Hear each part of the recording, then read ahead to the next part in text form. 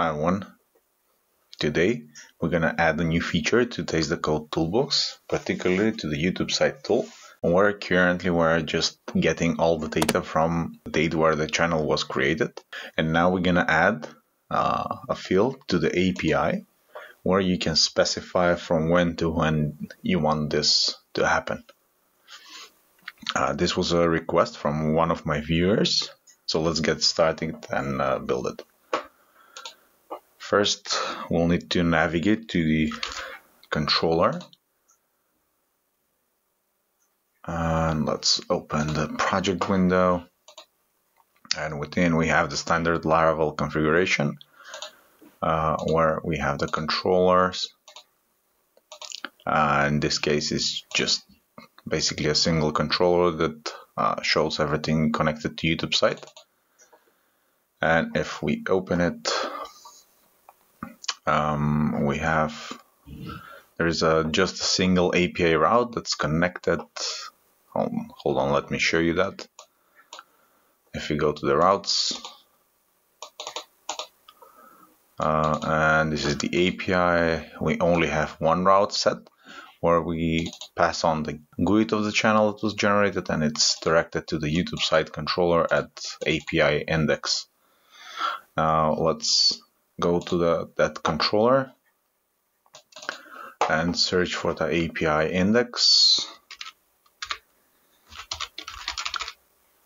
Here it is. Uh, what's happening there is that we connect to the Google client, we refresh the tokens, and then we call the API to get the to get the analytics. And if we go inside, we'll see that it's here that we actually specify the date from when and until when uh, all the data is collected. So basically what we're gonna do is extract those two variables and be able to set them uh, specifically for each of the requests. So let's let's start with that. Um, the plan is to add two more variables here. And let's give it some space. And those two variables will be optional. So the first one is um, we can add them as carbon variables. So the first first one will be start date we can make the variable to be nullable and we can say that it will be null by default. And the second one will be end date. Okay um, let's update the PHP comment. Okay so now um, we can add a condition. If not started it's gonna basically mean if the start date is not uh, set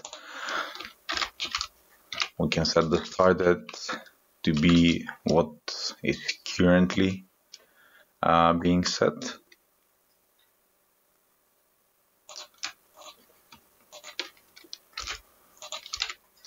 and this will give us the carbon instance that we uh, get returned from the channel. And here we can add the start date. And basically we're gonna do exactly the same thing but now with the end date.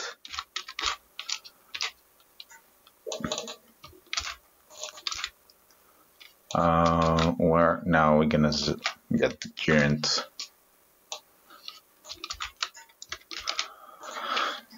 So what's basically going to happen is if we have uh, set a start date, then we're going to use that. But if we don't have a started connected, then we're going to use the channel published eight, uh, published at date that we take from the APIs.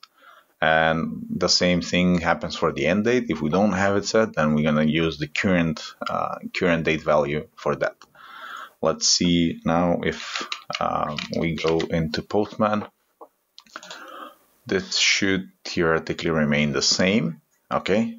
And but still we haven't got a way how we can send uh, these parameters to the request. So let's get back there and figure out where this one is used. Uh, okay, this is the index. We don't need that. We want this is for the UI. We want to show um, the full analytics all the time there.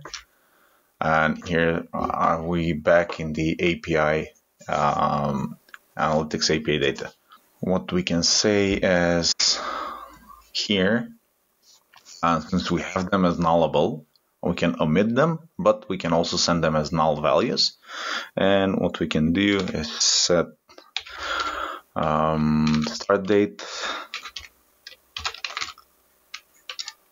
Uh, if I can spell that correct. Will be request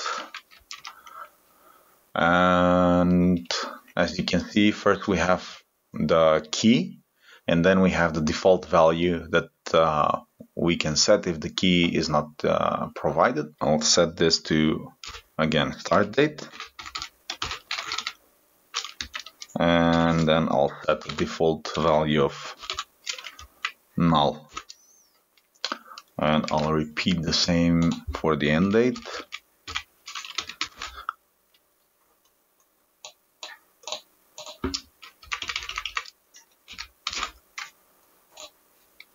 And now I'll be able to get these two values from the request. The one thing that I'm gonna change for now is that I had this as a carbon, but I'll convert this to strings and I'll tell you why. So here, if it's set and it's something different, now I'm gonna try and make it as a as carbon instance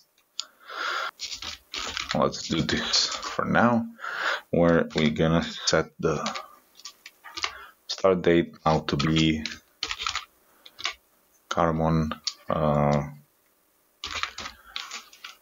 parse and we're gonna get the uh, start date value. And let's do the same for the end date as well. And date and, and it here. So we basically switched um, this to use the strings, pro strings provided. So what we can do is just pass them on. And now, whenever this is being set, we can send it uh, to the request. And let's see that in Postman. And yes, as you can see, now I don't have the 700 something subscribers that I had before, but I have the 45. And this is more or less uh, true. As you can see, I've gained for uh, I've gained 45, but nine of them left. Uh, they didn't like the channel. So I'm now currently with 36 subscribers. So, and if we remove that, we'll see that that will go uh, to what I had before.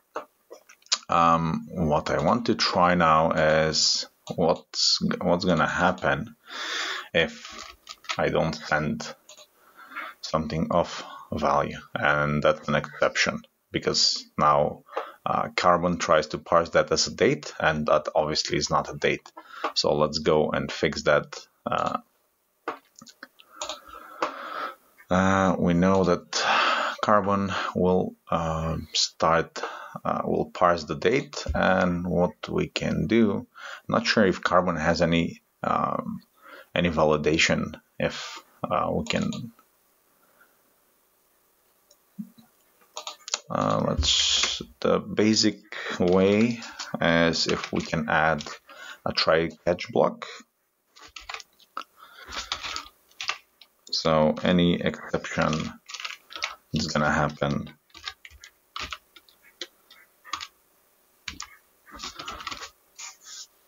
Um, do we want to log it? Not really. Uh, do we want to do anything else? No, but probably we can um, default uh, to the channel publish date and let's do the same here.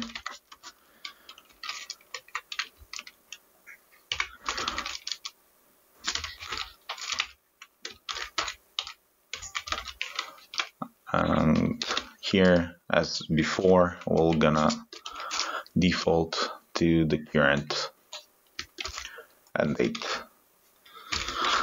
this way we're sure that we are always passing date to the API uh, which generally is a good thing. So let's see. And yes we have we have the current views. Start date was not recognized as a date uh, let's go back. Um, the interesting thing here is that we now have a way of adding uh, custom parameters that are uh, quite uh, descriptive. Uh, for example, uh, we can say two weeks ago, and this is a feature that Carbon will now parse that date uh, into a valid datetime string and par parse that to the um, to the API. Uh, let's try the same for the end date. Um, let's see, since my channel started in 2017, let's see how many um, subscribers I've got up until 1st of January uh, in 2018. Okay, so 42 and I haven't lost any. Uh, that's a success. Let's see now up until 2019. And that looks okay. So currently if we uh, supply both of them, I'll use 2018 till 2019 so this will basically return me all the subscribers that I had that I've uh, all the data that I've collected from uh, the entire of 2018 that's 165 subscribers. I had 14,390 views uh, and 26,875 minutes watched. And we can do the same for 2020. And this is where I got most of the subscribers because I was most active. So that's about it. I'll be committing this code to the GitHub rep repository if you want to take a look at yourself. The YouTube Sight application is open source, so you can gain access to uh, all of this code on my GitHub repository. The link will be down in the description. If you have any suggestions for improving it, uh, adding something, or if you see some issue with the code that I've ha I have here, then uh, feel free to uh, suggest any improvements, and I'll be glad to look at the merge request. Um, thank you for watching, and I'll see you guys in the next one.